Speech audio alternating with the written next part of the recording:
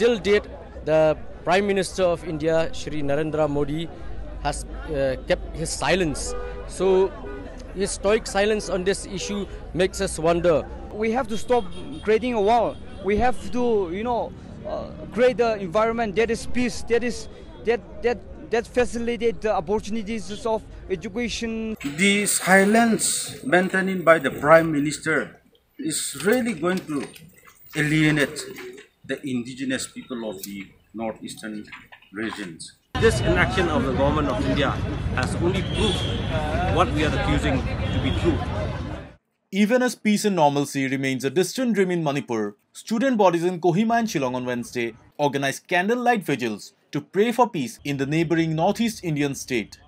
Paying their condolences, prominent student leaders under the banner of the umbrella organization NESO questioned why Prime Minister Narendra Modi is still silent on the issue. Others asked whether the central government has done enough to restore peace and normalcy in the violence hit state. The stepmotherly treatment of the government of India to the states. And this inaction of the government of India has only proved what we are accusing to be true. We have only uh, been getting political injustice from the government of India right from the time of independence.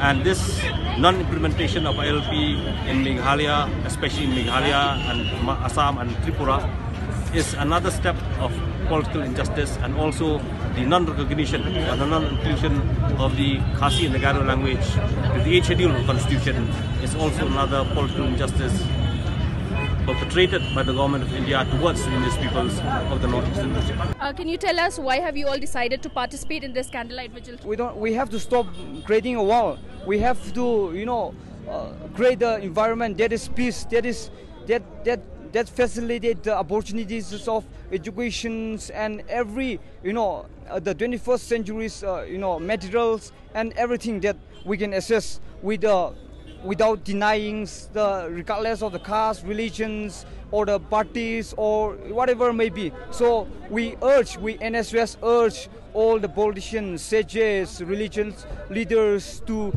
encourage to restore the peace in Manipur.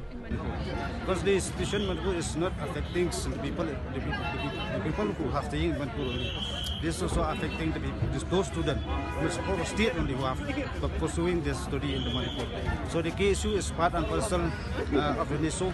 We take part on this today program and we appeal that the government here, the government of Manipur, should find where our meet, where our meet to address and bring back the normalcy in the state of Manipur. As an organization, are you also concerned about the flow of refugees from Manipur here in the state of Meghalaya? We are very much concerned. We have expressed to the government.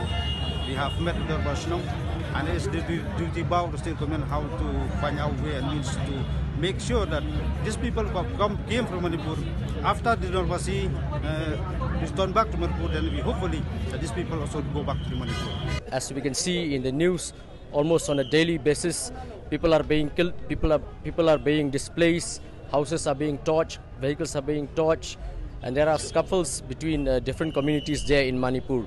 Yes, we have seen that the government have sent, uh, have dispatched a number of paramilitary and military forces there in Manipur. But uh, as per our, understanding, we are of the opinion that uh, the, the central government has not done its bit with regards to restoration of peace in Manipur. As you can see, that uh, the, this orgy of violence has been continuing for nearly two months.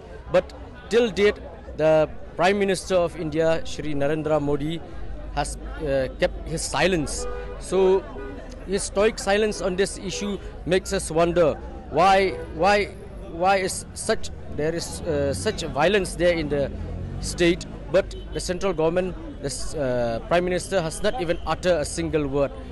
Similarly, in Kohima, leaders of the Naga Students Federation took out a rally under the aegis of the NESO. Addressing the gathering, the tallest student leaders from Nagaland demanded the center to intervene and resolve the conflict. We are really shocked when the situation, the turmoil had been in a very volatile.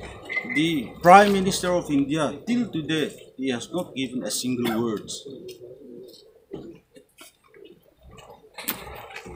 the silence maintained by the Prime Minister is really going to alienate the indigenous people of the northeastern regions. Therefore, we urge upon him to speak out. It is very hard and it is very painful to see the state of Manipur been burning for the last 57 days. Just a year back,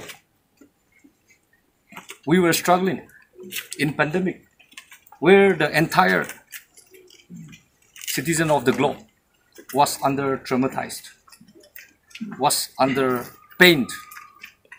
And now we are very painful to see that the entire state of Manipur is burning and which is very painful.